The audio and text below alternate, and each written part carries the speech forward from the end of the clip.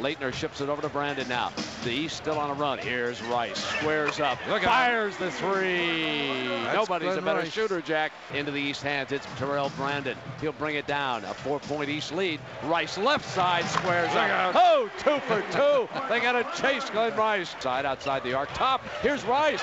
Right, left, center. Three for three. Hayes hit three triples. Makes one of two free throws. East attacks. Rice guns another one. There's the three. He and Alonzo Mourning have led the resurgence. Open is Rice for the slam. Look at the Michigan Wolverines. Right side, Rice. Oh, two more. Oh, Rice is on fire. Hill is there again defensively. Beautiful pass to Rice. Coming on in. Rolls it in.